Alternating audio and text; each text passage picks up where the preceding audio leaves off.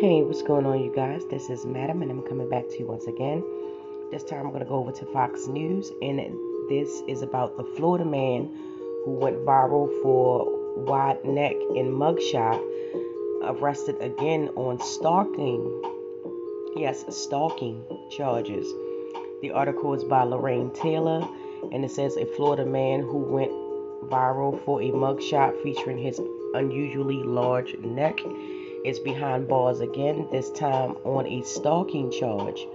Charge uh, Charles McDowell, age 35, of Pensacola, Florida, was booked into the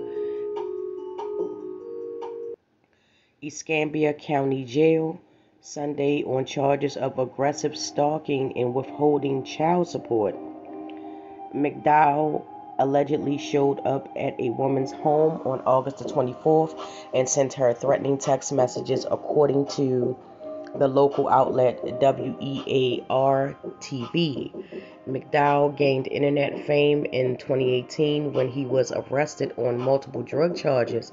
His mugshot went viral with hundreds of thousands of con- comments on and shares due to his unusually large neck.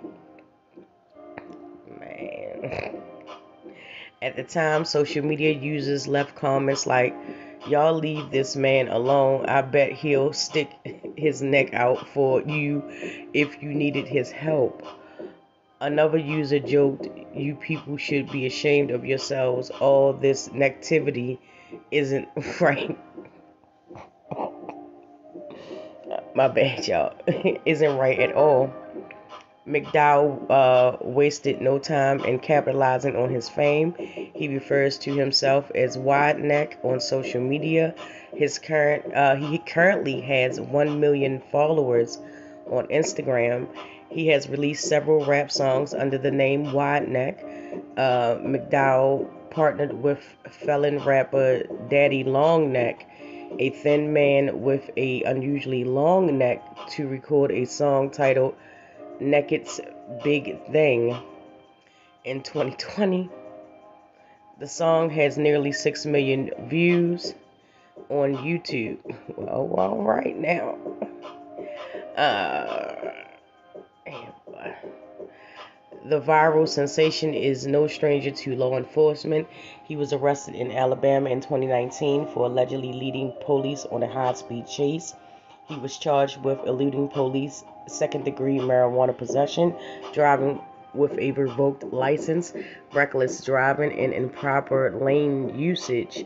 McDowell is currently being held without bond for stalking charges, according to the police report. And that is the end of the article. Uh, I'm just saying, my guy, just stalking.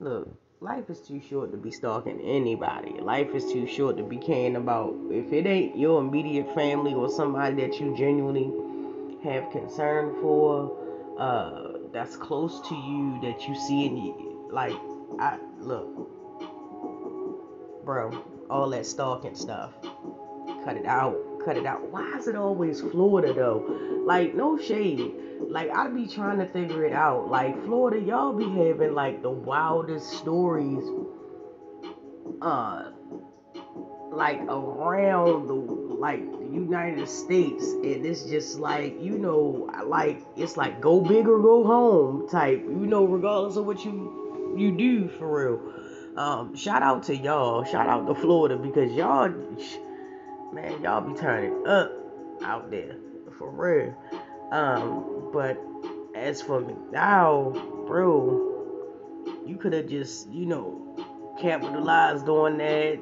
made some investments, got some people to invest in something that you was, you know, nigga, you could have came out with a with a scarf for people with big necks or something like that. I mean, I, I look, I can float some ideas to you, sir. but uh yes, this is an update. If you ever wanted to know what happened to him and you don't follow him on social media, uh, yes, Mr. Charles McDowell has been arrested again for stalking charges. Apparently, it is a person that he shares a child with, unfortunately, and uh, it should never get to that point between parents.